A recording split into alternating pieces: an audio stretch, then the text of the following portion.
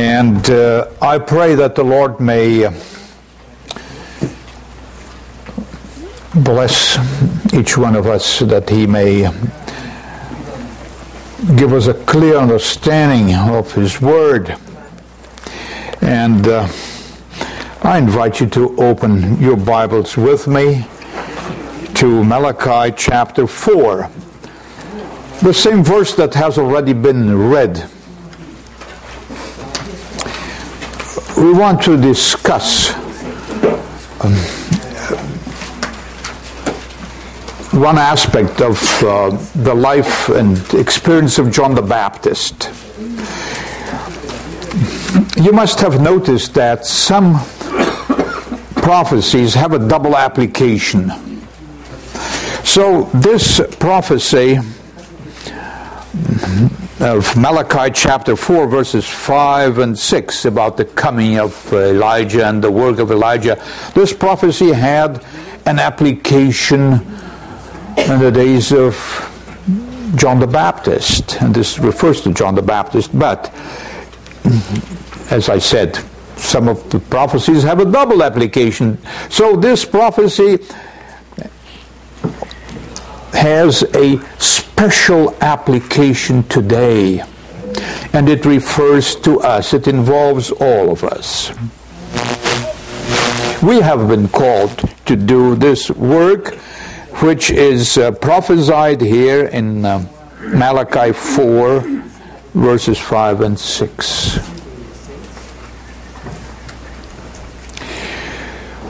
You know, there is a parallel between Elijah, the prophet Elijah, and uh, John the Baptist, and uh, the remnant people of God in these last days who have been called also to do a work in the spirit of, of Elijah.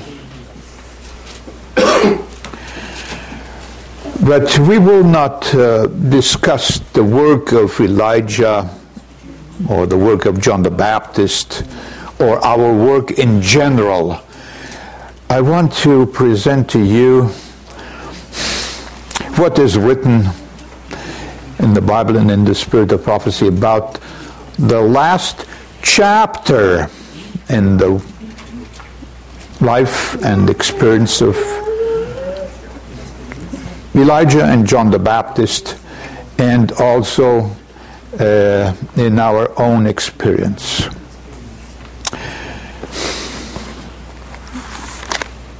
Matthew chapter 11, verse 7. And Jesus spoke to the multitude, What went ye out into the wilderness to see? A reed shaken with the wind?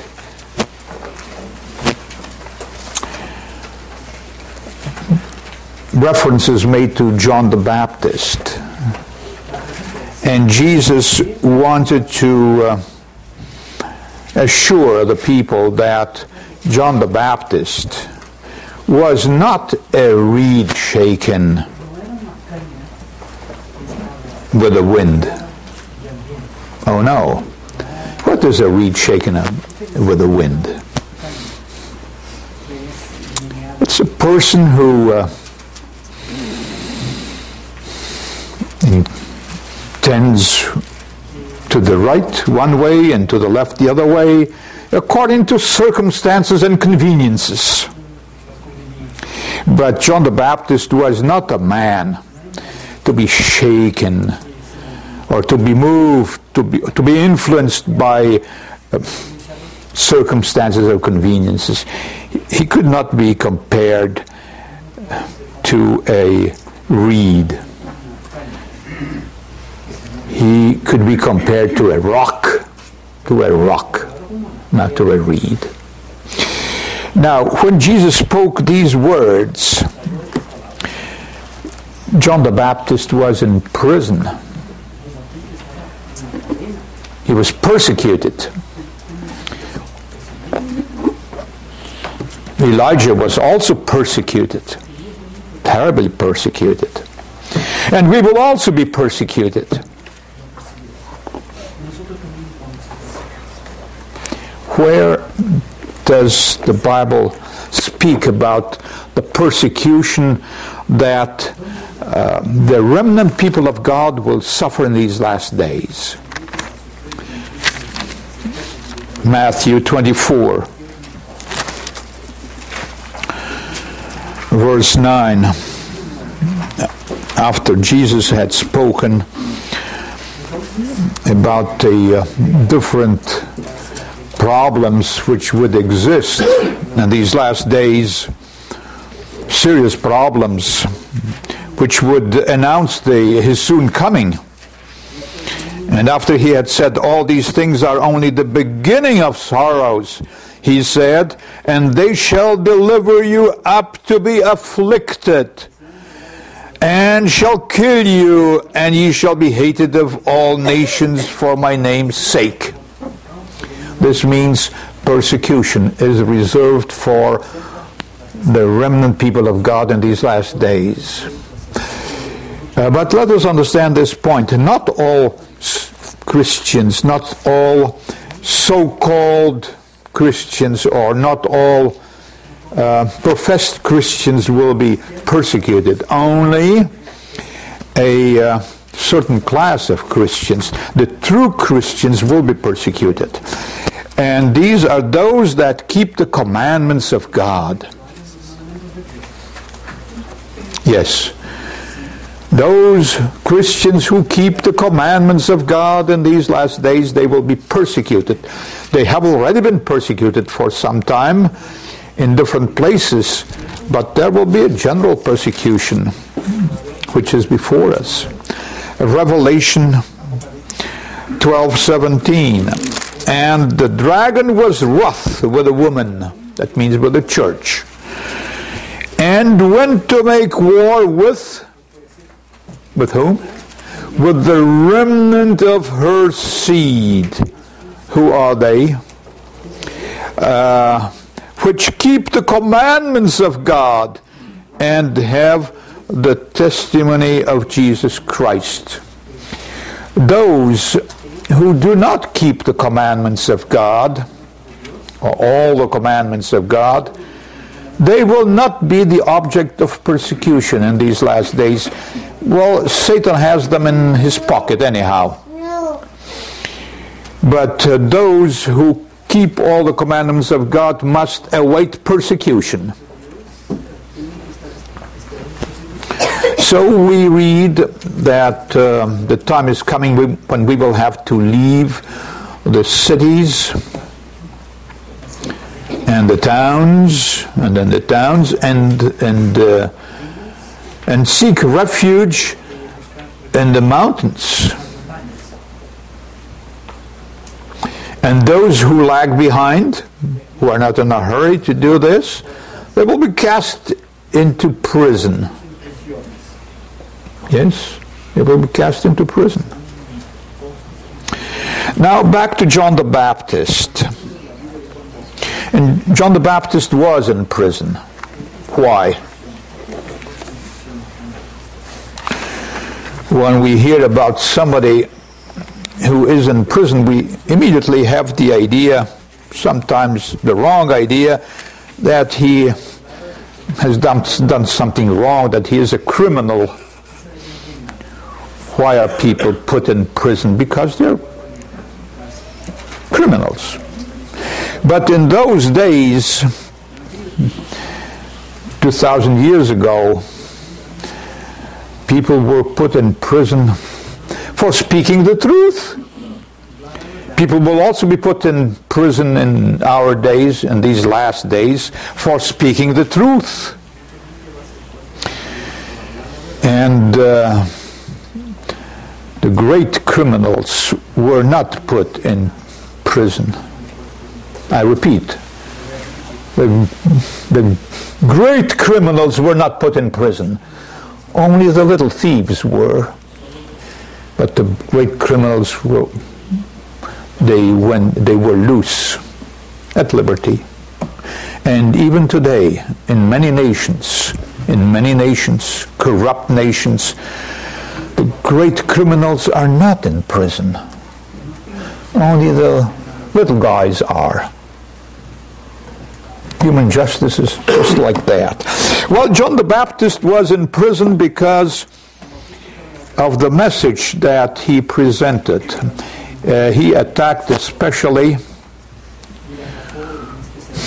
the uh, the sins of the people, and he did not spare anyone, no exception, and he also spoke against the wrong step that Herod had taken. Herod had taken a very wrong step. He knew that. He had eloped with uh, the wife of his brother, with his sister in law, actually, with the wife of his half brother. Herodias. And she hated John the Baptist very much. And uh, she was not satisfied that he was in prison. She wanted something else. She wanted to see him beheaded. But John the Baptist was, was not concerned at first at the beginning of his life in prison because he put his confidence in a prophecy. Isaiah 61.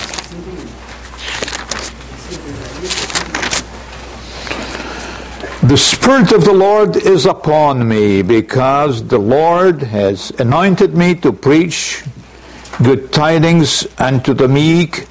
He hath sent me to bind the uh, brokenhearted, to proclaim liberty to the captives, and the opening of the prison to them that are bound.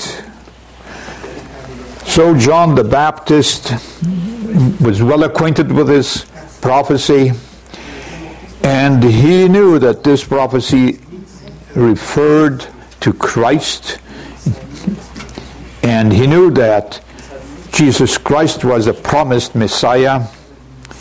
He was to fulfill this prophecy, and he thought, well, I'm in prison, but I have nothing to worry about because Jesus Christ, my cousin, they were cousins. Jesus Christ, my cousin, will come here one of these days and he will set me free. But did John the Baptist interpret this prophecy correctly? He was a prophet. Do prophets always interpret prophecies correctly? Do they know everything or do they know only that which the Lord has revealed to them? And that which the Lord has not revealed to them, what happens? Hmm? They may often make mistakes in the interpretation and the understanding of that which the Lord has not revealed to them.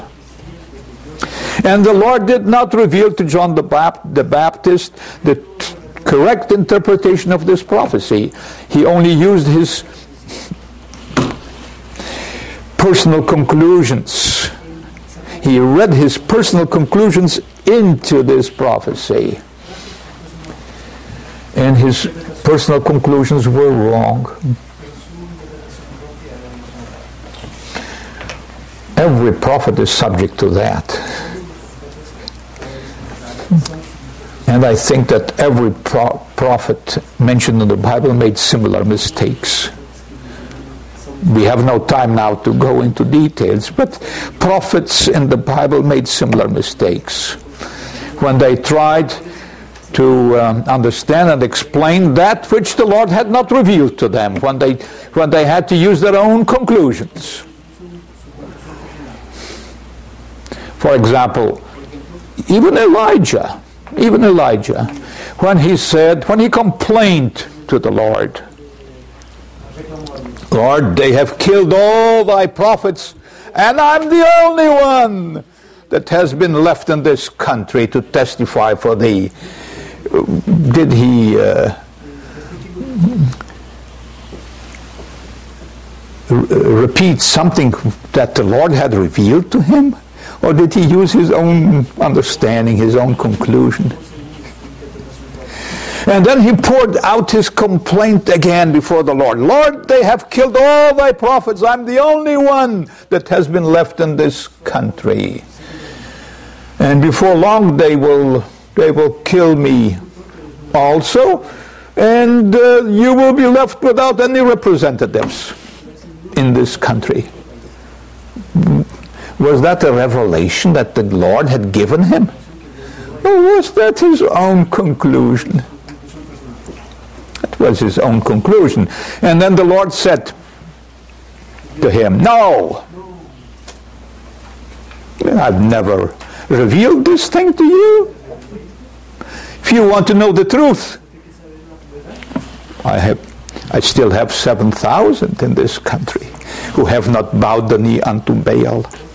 But the Lord did not send him a list of names and addresses to go to these people. No.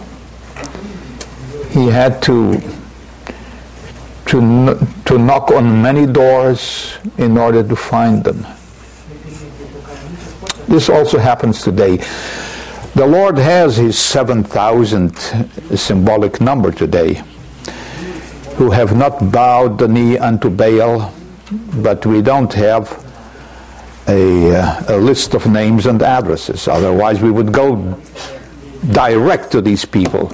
But this is not uh, the plan of God. The plan of God is that we should knock on on the doors of the people in general in order to find these 7,000. But these 7,000 will be brought together.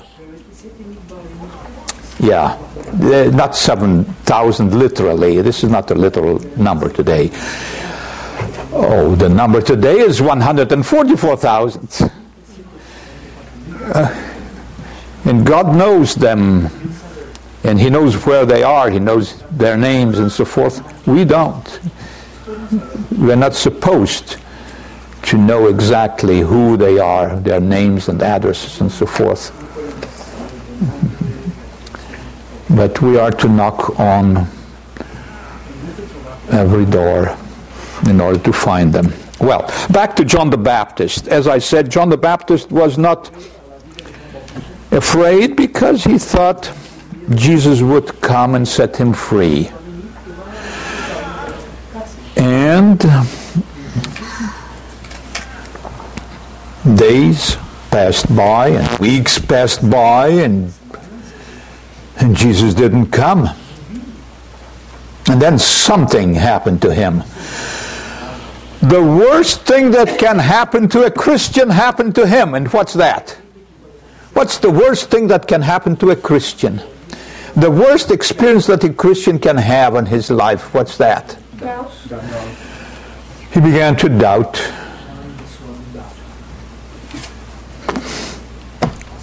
But was, what was the, the reason for his doubts? God was not responsible for his doubts. The reason for his doubts was that he put his own understanding of a Bible prophecy. And many times we also make the same mistake. We put our own understanding on, on some of the Bible prophecies many times. And I began to doubt. And worse than that, his disciples came to him in order to help him with their suggestions, and instead of helping them, they made it worse for him. How? They increased his doubts. They asked him, Master, Master John, don't you think that if this man called Jesus Christ were the promised Messiah, don't you think that he would come here and set you free? And he, he knows that you are in prison and he doesn't come. Maybe he isn't the, the promised Messiah. They only try to help him with suggestions. In reality, they complicated matters for him, made it harder for him. Sometimes our best friends can be our worst enemies without knowing what they are doing or what they are saying.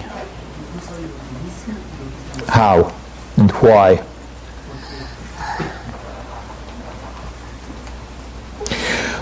I'll ask you a question and you will give me the answer. Did John the Baptist discuss his doubts with his disciples? Did he?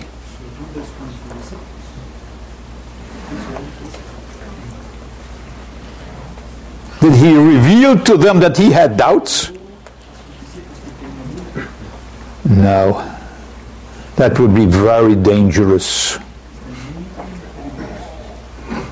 He was wiser than that. He did not discuss his doubts with his disciples. If a man has doubts, should he discuss his doubts with his brethren or with his children or with his wife? No. No. Never. Why not? Why not? If I discuss my doubts with my brother, tomorrow, tomorrow I may I may get rid of my doubts. Does that mean that my brother will also get rid of the doubts that I put into his mind? So, then why is it that John the Baptist did not discuss his doubts with his disciples? Why? Because he didn't want to contaminate them. If a man has doubts, who should he discuss his doubts with? Uh, before whom should he pour out his, his doubts? Before whom? Alone. Before God in prayer. And never reveal his doubts to either brother or friend or son or or, or wife or whoever. Never. I repeat, because if I have doubts, I may get rid of my doubts tomorrow, but this does not mean that those that I have affected contaminated with my doubts, that they will also get rid of the doubts that I have put into their minds. I may still be saved.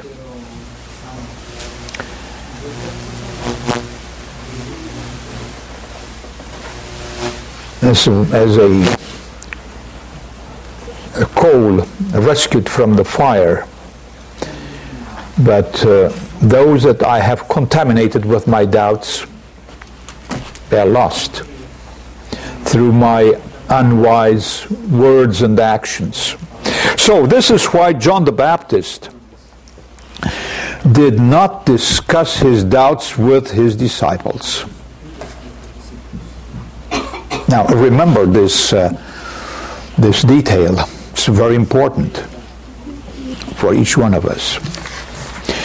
But while John the Baptist had his doubts, um, on the one hand, on the other hand, didn't he have evidence, plenty of evidence on which to establish his faith? Yes. He, his um, his uh, position did not depend on uh, one prophecy only his position depended on many prophecies.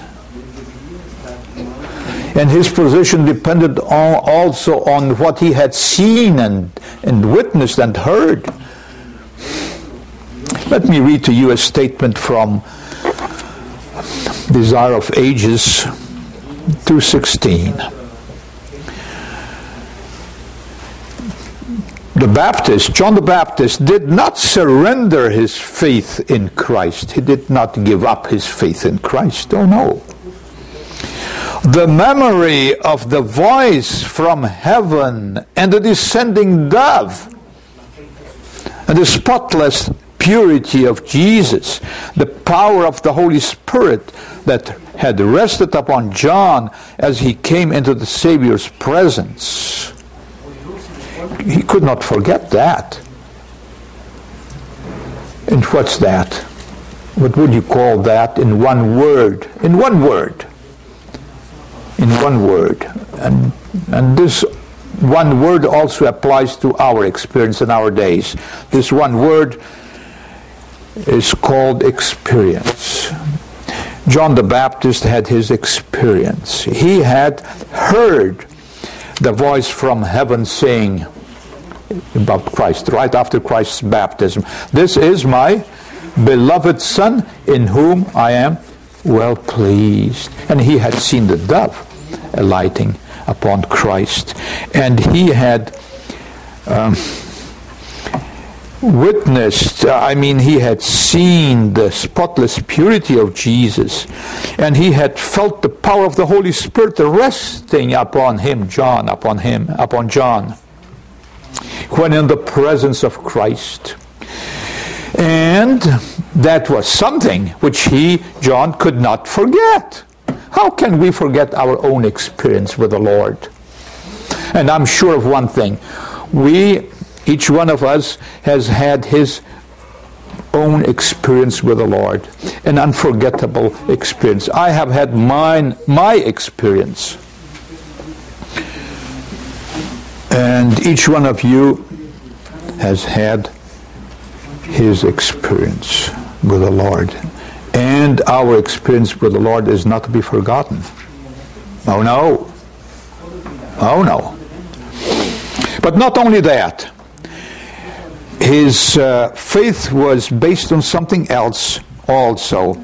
The testimony of the prophetic scriptures all witnessed that Jesus of Nazareth was the promised Messiah. He was acquainted with the prophetic scriptures. He could not understand one, but he could understand the other prophecies. How about the prophecy of the 70 weeks, for example, and many other prophecies? Now, we have the same the same two evidences today on which to establish our faith.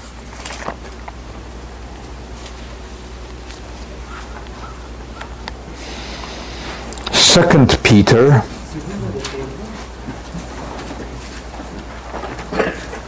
verse 16 and on. We have not followed cunningly devised fables. Chapter 2, chapter 1, 2 Peter chapter 1, verse 16. We have not followed cunningly devised fables when we made known unto you the power and the coming of our Lord Jesus Christ. But uh, uh, we were eyewitnesses of his majesty. What would you call that in one word? Uh, for we he received from God the Father honor and glory when there came such a voice to him from uh, the excellent glory, saying, This is my beloved Son in whom I'm well pleased. What is that in one word? Faith. Yes, but that is experience. They could not forget that which they had witnessed. That is experience. And we all have our experience with the Lord. But uh,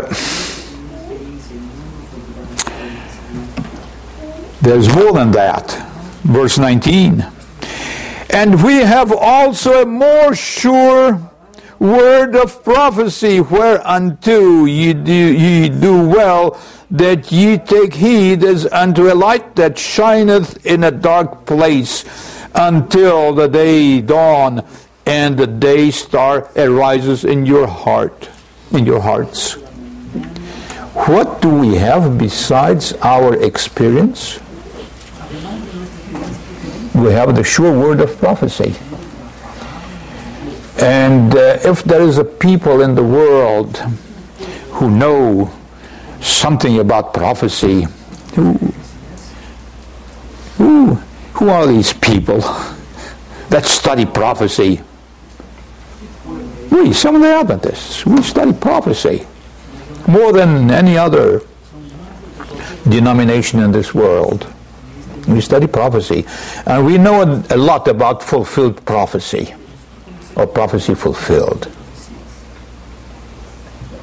So we have, as John the Baptist, we have two main um, stepping stones. Two main stepping stones. To start with, two main stepping stones to cross the swamp.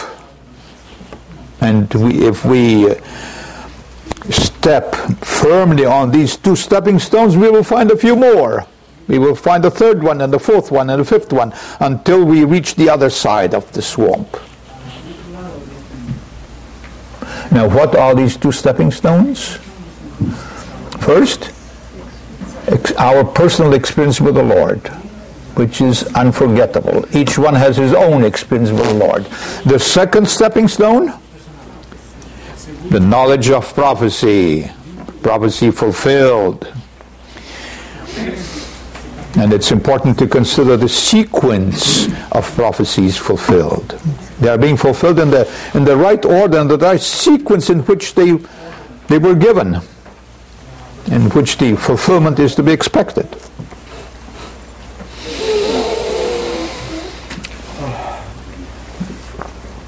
When I was a boy, I heard a man telling his experience. A man who uh, did not have any money in his pocket to buy a ticket from Curitiba to Sao Paulo, Brazil, about 400 kilometers, uh, less than 300 miles. But uh, he had to walk all the way from Curitiba to Sao Paulo. And on and he had to cross over a bridge. But the bridge was not made for, had not been made for pedestrians or for cars or for cattle. No. That bridge had been built only for the railway, for the train. For the train only. It was a railway bridge. And the rails were placed upon uh, ties or sleepers in British English. The rails were placed upon ties. And how was he going to cross over that bridge?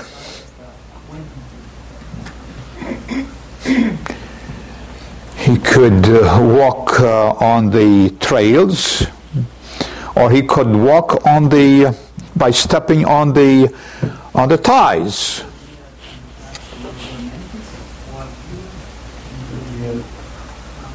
This is what he did. He crossed the river by stepping on the ties. But if he wanted to step into the uh, open space between the ties, he could do that, couldn't he? Why not? He had his choice. So we also have our choice. I'm, I'm trying to make a comparison. We also have our choice. We can explore the evidence. Let me use the plural, the evidences that God has given us. Or we can explore the doubts that the devil suggests to us. Yes. And what happens when we explore the evidences? What, happens? The evidences become more and more evident to us. And if we begin exploring the doubts, what happens? They become stronger and stronger to us. So then we have two possibilities. We can either either step only on the on the ties until we reach the other end. I compare them to the evidences. Or we can explore the doubts. I compare them to the open spaces between the ties and get drowned.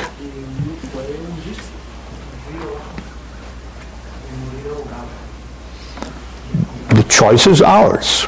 Or, for example, we want to cross a swamp and there are the stepping stones across the swamp. And the first two stepping stones, what, would, what should we call them? What, what could we call them? Or what should we call them? The two first stepping stones. I mean, the first two stepping stones. Mm-hmm. Experience Experience, our personal experience with the Lord, and prophecy. And if we uh, step on these two, if we step firmly on these two, what what will happen? We see a third one and the fourth one and the fifth one until we reach the other end. But if we want to step into the open space in between the stepping stones, if we want to step into the swamp, we can. Choice is ours. But the result is not the same. See, the result is not the same. So we have a choice before us today. We can even uh, we can either stand on the evidence and explore the evidence that the Lord has given us, or What's the other possibility? Step into the open space, step into the mire of doubts and get bogged down and drowned according to our own choice. Now back to John the Baptist.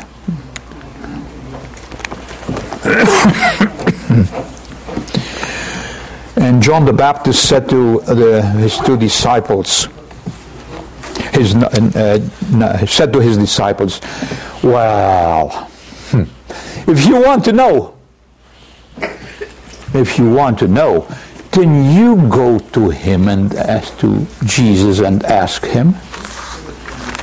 You go to him and ask him. But he did not discuss his doubts with his, his own doubts with his disciples. And I take it for granted that his own disciples never suspected that John the Baptist, their master, had his, his own doubts. I, that's my opinion. But uh, John the Baptist said to two of his disciples, Go and you go to John, do you go to Christ, you go to Christ, and uh, and put to him the question, verse three, Matthew eleven: Art thou he that should come, or do we look? Should we look for someone else? And they came to Jesus with this question. And Jesus knew all about the problem because Jesus could read hearts and minds from a distance. And what did Jesus say to the two disciples that, that were sent to him? And why, why two? Why didn't Jesus say, send only one? Wouldn't it be cheaper to send only one? But he sent two. Another lesson for us. Well, what did Jesus say to the two disciples when they came to him with this question? A very serious question. Mm-hmm. Did he say to them, well, go back to John immediately and tell him, yes, I'm the one. You don't have to wait for another one. I'm the one. Would that have cleared the doubts of John the Baptist or of the disciples? No. What did Jesus say to them? He said to them, You sit down here and watch. A whole day. And what did they see? And as they stood wondering at his silence, the sick and afflicted were coming to him to be healed. The blind were groping their way through the crowd, diseased ones of all classes, some urging their own way, some borne by their friends, were eagerly pressed into the presence of Jesus. The voice of the mighty healer penetrated the deaf ear. A word, a touch of his hand, and the blind uh, uh, opened the blind eyes to behold the light of day, the scenes of nature, the faces of friends, and the face of the deliverer. And Jesus rebuked disease and banished fever. His voice reached the ears of the dying, and they arose in health and vigor. Paralyzed demoniacs obeyed his word. Their madness left them, and they worshipped him while he healed their diseases. And he even raised the dead in some cases.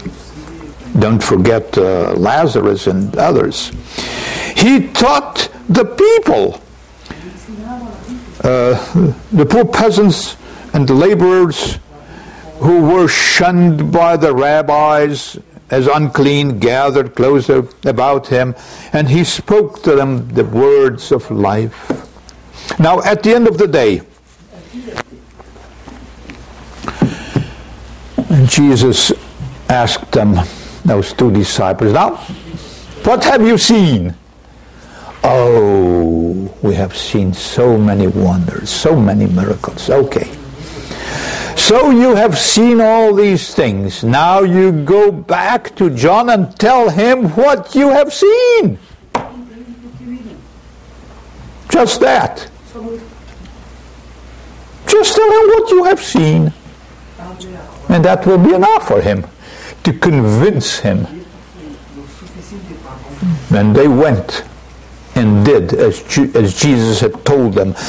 And John the Baptist was convinced. He had no more doubts.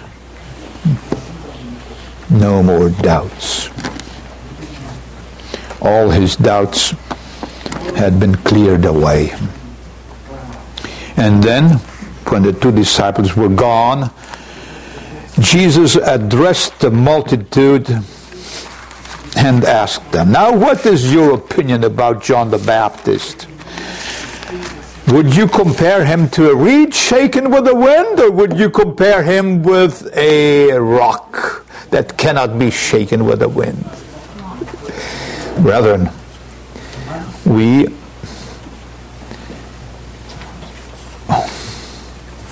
stand before the same problem as John the Baptist did. And Jesus wants to say, see in each one of them, in each one of us, Jesus wants to see in each one of us a rock, a solid rock, not a reed shaken up by the wind.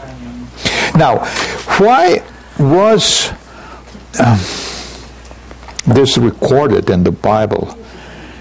This uh, last chapter in the life and experience of John the Baptist recorded in the Bible.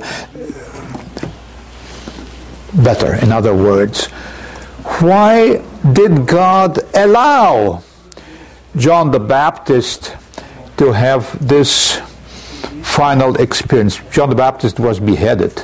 Why didn't Christ um, put set him free?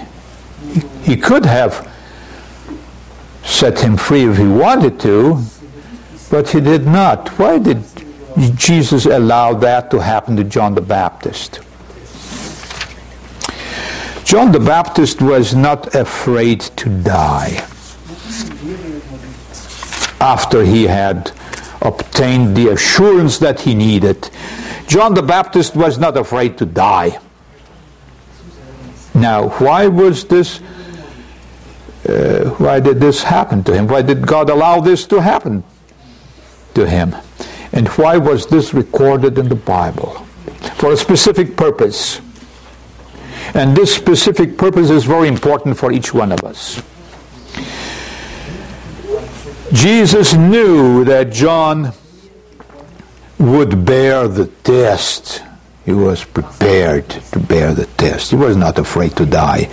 Gladly would the Savior have come to John to brighten the dungeon gloom with his own presence. But he was not to place himself in the hands of, the, of uh, enemies and imperil his own mission. Gladly would he have delivered his faithful servant. But for the sake of thousands, I repeat, for the sake of thousands who in after years must pass from prison to death, John was to drink the cup of martyrdom. As the followers of Jesus should languish in lonely cells or perish by the sword or the rack or the faggot, apparently forsaken by God and man. What a stay, what a support to their hearts would be found, would they find in the experience of John the Baptist.